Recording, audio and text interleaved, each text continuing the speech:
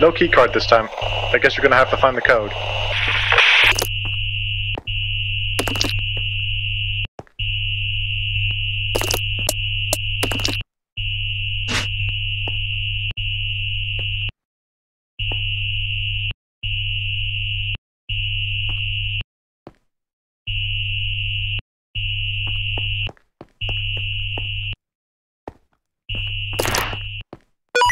This is why they can't have nice things. You got the code. Get to the elevator. We aren't done yet.